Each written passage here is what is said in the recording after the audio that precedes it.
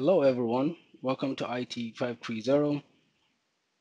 This is the online version of the computer security class at Marymount University. My name is Ibra my name is Ibrahim Waziri Jr. and I will be your instructor for the class. If you have taken a previous class with me, probably IT 520, then you already know me.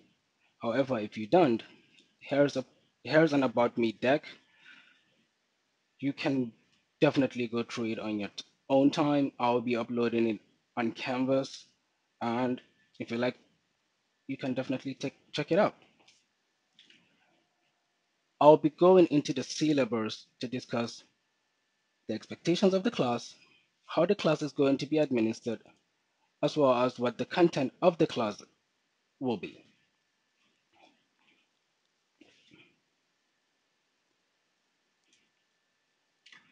When you get the chance, definitely go through all these details related to Marymount University, including how the university handles emergency closing, weather, and how you can access your work, and all those good items.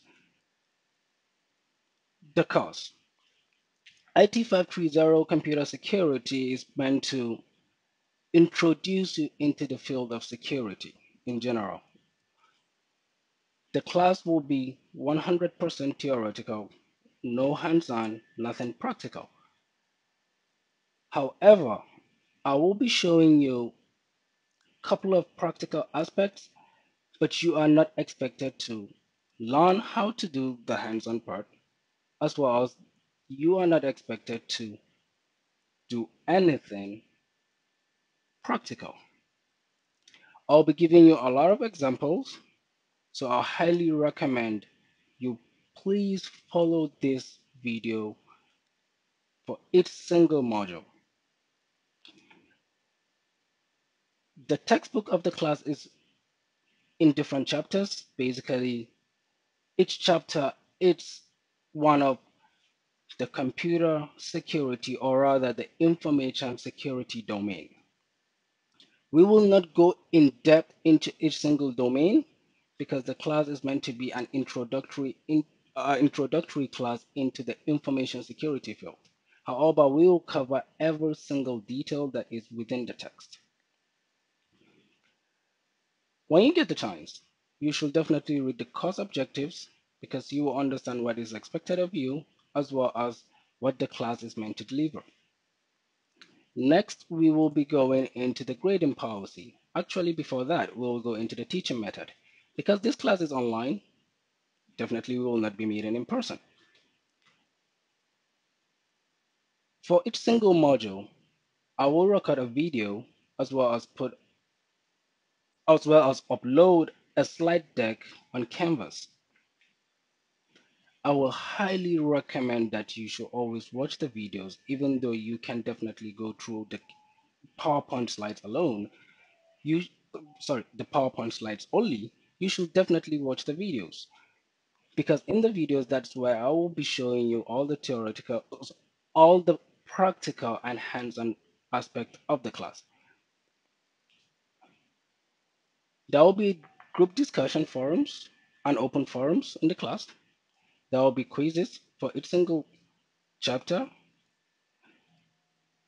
The materials will all be on canvas The grading policy. The quizzes will take 50% of your grade. There will be a paper or article review. Now, you are not expected to do an original research or any of those. The expectation is you should go out, find a paper, could be a news article, could be a research paper, that is related to the chapter or the module that we have covered. You are expected to read the paper and write a review. The review is just highlighting what the paper or article is all about and how it relates to the module that you have read, uh, that we have covered. The paper should be at least a half page paper, no more than that, not less than that. It should be in New Times Roman. The font size should be 12, 1.15 line space, and you should use the default Microsoft Word margin. You are expected to cite the original paper that you read in an APA format. The review will take 20% of your grade. Now, this review will be for each single module. There will be 10 modules entirely in the class. Participation and discussions. Because this is an online class, we definitely need to interact with each other to make sure we all know ourselves as well as we communicate. So there will be a discussion for each single module. After every module, you are expected to either ask a question or answer a question. You are actually expected to ask one question as well as answer a question. In addition to that, questions that are already in the that are already covered in the module or some basic questions that can be found within the slide or within the chapter of the text do not qualify as a question. An example is you cannot ask a question like what is cybersecurity or what's the difference between confidentiality and integrity because those are things that you can find within the text. You are expected to be creative with your questions and the discussions will take 20% of your final grade. Final exams. There will be a final exams in the class, which is 10% of your grade. The final exams will take will be unlocked July 29th and it will close on July 8th. You must take the exam, including the quizzes, in one sitting before they close. As for the quiz, they will not be closing. Each single module, when it's unlocked, will not be closed. However, you will not be able to see a module until you have completed its prerequisite. The class schedule.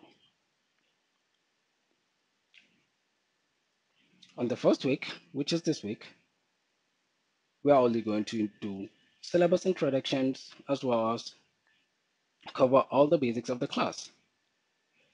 I will highly recommend that each single week you reference you, you refer to this aspect of the syllabus, that is the task.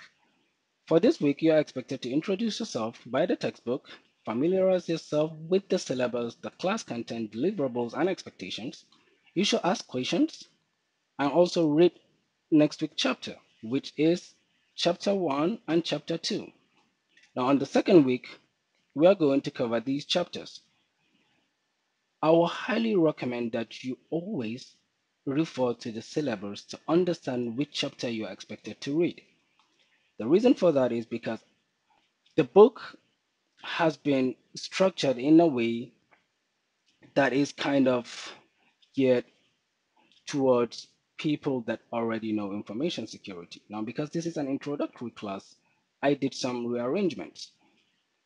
An example is on the third week, you're expected to read chapter 3 and chapter 5, which means you are going to skip chapter 4. We will cover chapter 4, I believe, in week 6. So always refer to this to understand which chapter is this that you are expected to read for the week. There will be quizzes. You are expected to participate in the discussion. You are also expected to review, the, uh, to submit a review paper, which is go out there, look for a research or a news article paper, and then review the review the paper a half page like we covered, and you are expected to submit it. There are no due dates for submission, which means you can submit anytime. However, you do have to submit and complete all the tasks in a module in a certain week before you will be able to see the subsequent module, the following week content. An example is you have to complete all of these tasks on week, week two to be able to see the content of week three. So I will highly, highly recommend again for you to always refer to this to this syllabus because it has everything we are going to uh, everything you are expected to complete. Now, we did talk about the final exams, but the final exams, you must take the final exams before August 3rd. The final exams will unlock August, uh, July 29th, not August. The final exams will unlock July 29th, and you have a week to, um, you have five days to complete it, I believe. You can only take the exams in one sitting. Refer back to the exam details over here to make sure you fully understand it. If you have any questions, do not hesitate to reach out to me. We will have a review and an extra credit assessment if the performance of the class warrants that. Now, if you have taken a previous class with me, you know that I do not give extra credit to single to individuals alone.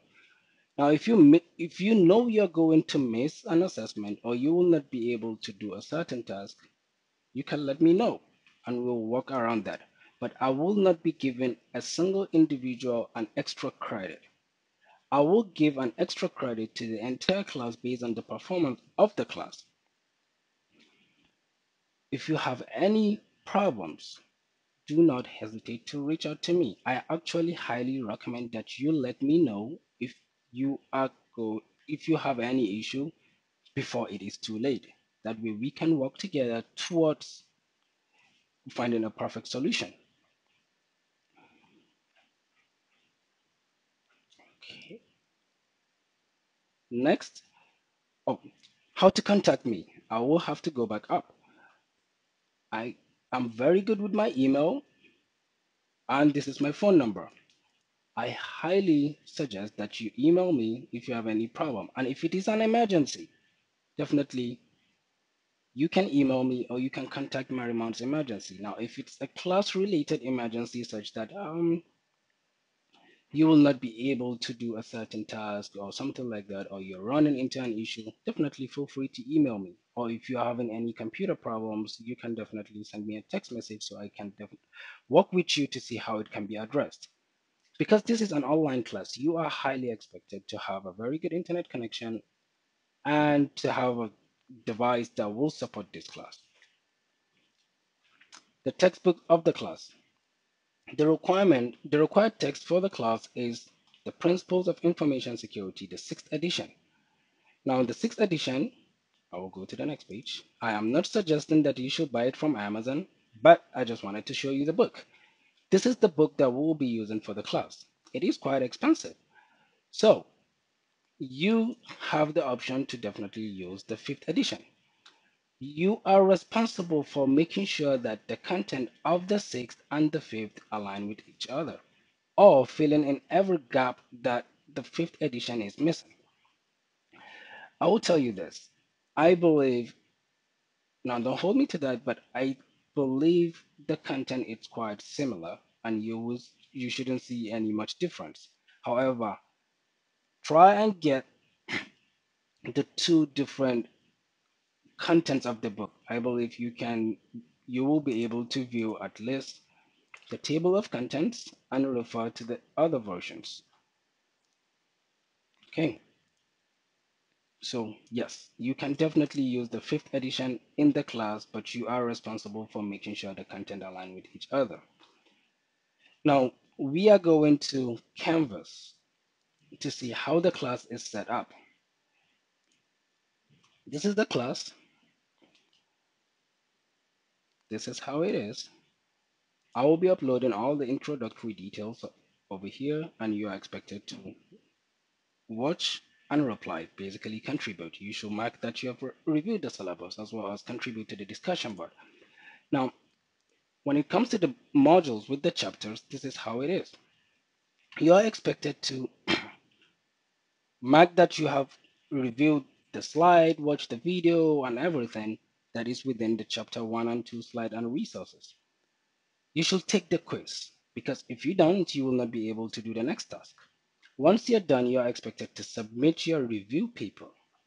I will highly recommend that you always complete, well, you wouldn't be able to do any other task without completing the previous one.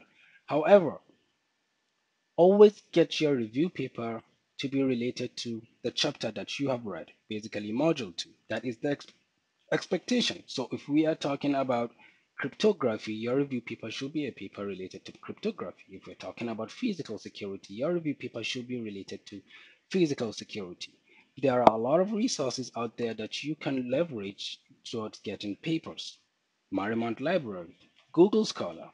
You can definitely Google how to get all those either news articles or research content. Wikipedia does not qualify as a place to get a document or get any knowledge in terms of this class uh, related to this class. Now, once you submit a review paper, you are expected to contribute to the discussion board by either asking a question, sorry, by asking a question and also answering a question. It, clear instructions will be within each single page. Let's see, uh, let's take a look at how the student view will be, how you'll be seeing this class from your side. Okay. Because chapter two, uh, module two module 1 is a prerequisite for module 2. You will not be able to see module 2 until you have completed all the tasks required in module 1.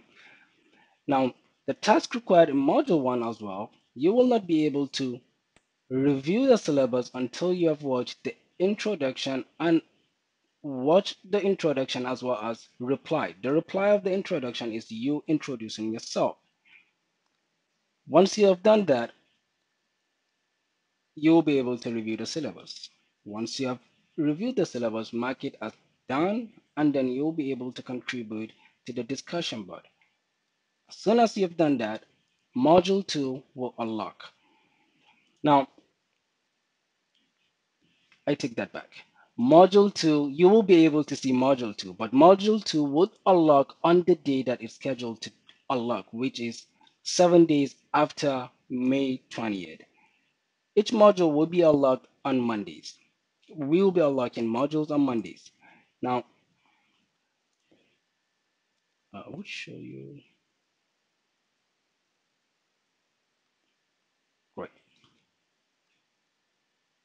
As you can see, May 27 is when module 2 will be unlocked.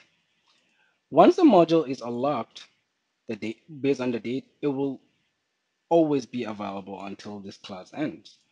Now, because it is summer, I understand a lot of people will be traveling, some will be on vacation. You have the flexibility of not doing anything on the first week and doing everything next week together, module one and module two, so long as module two has unlocked. There will be no penalties for late submission or whatsoever. However, I do not recommend that you wait to do everything all at once towards the end because it is quite a lot. Just because you can do it doesn't mean you should do it. I will highly, highly recommend you do not because the task is quite a lot. You will not be able to complete all these tasks if you let it towards the end. If you have any problems, do not hesitate to get in touch with me. You have my email as well as my phone number. Go through all the content and let me know if you have any concerns. The task for this week is you should watch this introductory video, go review the introductory slide, and contribute. The contribution is you introducing yourself. Next, you should go over the syllabus. Make sure you understand it. Then contribute to the discussion board. This will be our general discussion board. You have to contribute to it. If you have any questions, reach out to me via email or text message. I will see you all next week. I take that back. I will talk to you guys all next week. Thank you.